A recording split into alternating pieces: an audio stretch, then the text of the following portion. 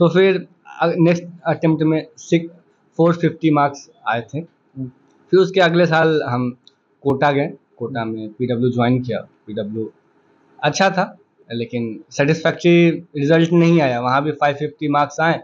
और उससे भी सिलेक्शन किसी भी कॉलेज में नहीं हुआ ना एम बी बी एस हुआ ना बी डी एस हुआ ना आयुर्वेद हुआ। तो इस साल फिर से एक बार और एग्ज़ाम देने का सोचे तो वापस कोटा गए। वापस कोटा आने पे इस दफ़ा कोई कोचिंग ज्वाइन ना करके आकाश ज्वाइन किया। आकाश में चीज़ें अच्छी रही, मेरे हिसाब से हर चीज़ चला। तो इस दफ़ा का रिज़ल्ट 697 मार्क्स मेरे साल आए। क्या एक किसान का बेटा डॉक्टर बन सकता है? आज हम आपको एक ऐसी प्रेरणादायक कहानी सुनाने जा रहे हैं, जो आपके दिल को छू जाएगी। यह कहानी है बिहार के वैशाली ज़िले के छोटे से गाँव बनखूबी के मोहम्मद नाजिश की।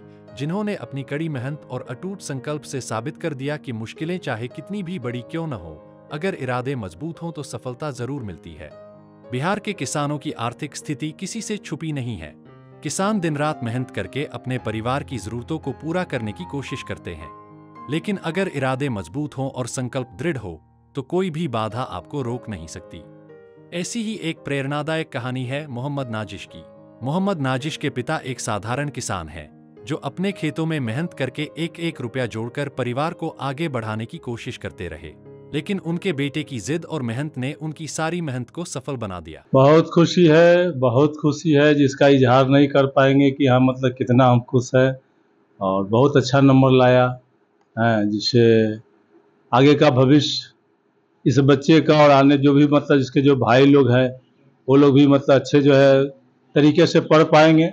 देखिए किसान होते हुए भी हमने पढ़ाया, अगर बच्चा पढ़ने वाला है और बच्चा मेहनती है, हर बाप माँ की ये शौक है कि मेरा बच्चा जो है बहुत पढ़े।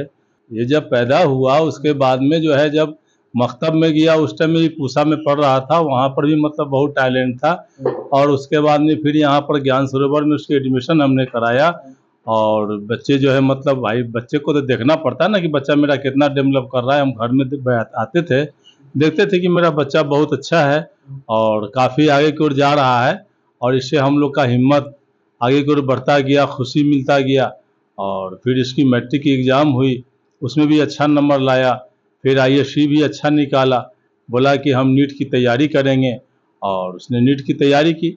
भले ही एक दो तीन साल लग चुका है, लेकिन जो भी लाया, बहुत अच्छा नंबर लाया। नाजिश ने अपनी पढ़ाई गाँव के छोटे से स्कूल ज्ञान सरोवर से शुरू की दसवीं और बारहवीं कक्षा तक उन्होंने यहीं से पढ़ाई की और आगे की पढ़ाई के लिए राजस्थान के कोटा का रुख किया। आर्थिक स्थिति ठीक नहीं थी, लेकिन उनके पिता ने हार नहीं मानी और नाजिश को कोटा भेज दिया। 2021 में नाजिश ने पहली बार नीट की परीक्षा दी, लेकिन सफल नहीं हो पाए। फिर भी उन्होंने हार नहीं मानी और दूसरी बार 2023 में फिर से नीट की परीक्षा दी, लेकिन इस बार भी सफलता नहीं मिली। इसके बावजूद नाजिश ने अपने मेहनत को जारी रखा और आखिरकार तीसरी बार में नीट की परीक्षा में सफलता हासिल की। इस सफलता के बाद उनके घर में खुशी की लहर दौड़ गई। किसान के बेटे ने अपनी मेहनत से डॉक्टर बनने का सपना साकार कर दिखाया।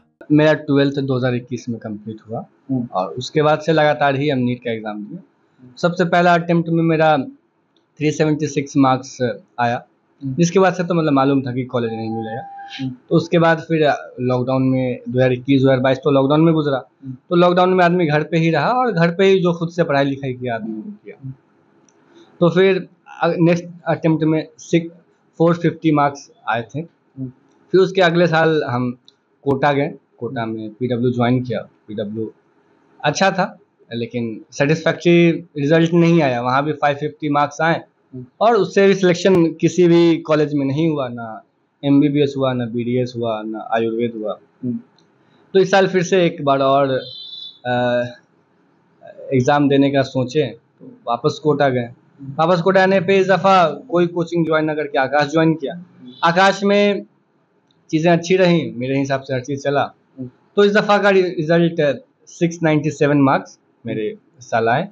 नाजिश बताते हैं कि उनकी इस सफलता के पीछे उनके माता पिता का बहुत बड़ा योगदान है। उन्होंने कहा हमने अपनी पढ़ाई गाँव के ही प्राइवेट स्कूल ज्ञान सरोवर से की मेरी माँ और पापा ने हर कदम पर मेरा साथ दिया और किसी भी प्रकार की परेशानी को मेरी पढ़ाई के दौरान आने नहीं दिया। आगे अब तो काउंसलिंग शुरू होगा जैसा कि मतलब हर किसी को जिसको भी रिज़ल्ट का मालूम है मालूम है कि सर रैंक काफ़ी ज़्यादा पुश हो गया है तो काफ़ी मुश्किल हो गया है बाकियों का एडमिशन तो हालाँकि हमको तो एडमिशन मिल जाएगा लेकिन बाकियों के लिए थोड़ा मुश्किल हो चुका है।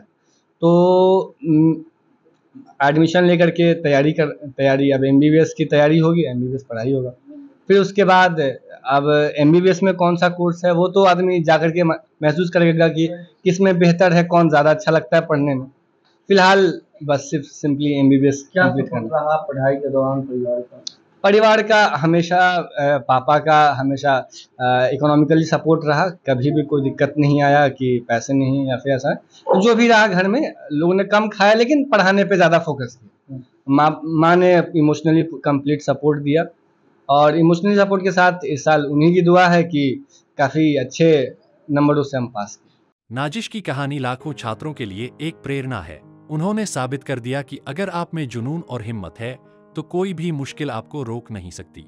उनकी सफलता यह संदेश देती है कि मेहनत और संकल्प से कोई भी सपना साकार किया जा सकता है। तो दोस्तों, यह थी मोहम्मद नाजिश की कहानी एक किसान के बेटे की जो अब डॉक्टर बनकर समाज की सेवा करने की इच्छा रखते हैं। लोकल 18 के लिए वैशाली से राजकुमार सिंह की रिपोर्ट।